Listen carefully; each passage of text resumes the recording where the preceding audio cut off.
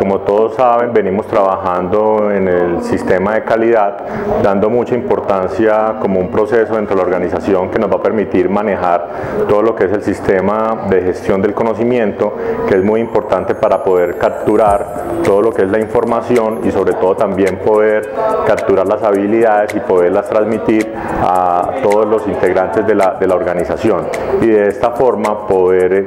entender cuáles son las dinámicas en los diferentes procesos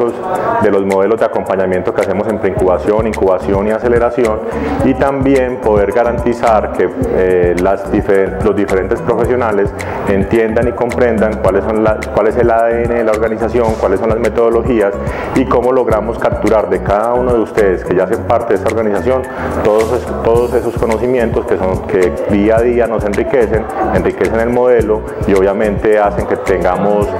unos mejores indicadores de gestión un cumplimiento muy acertado también para con nuestros clientes.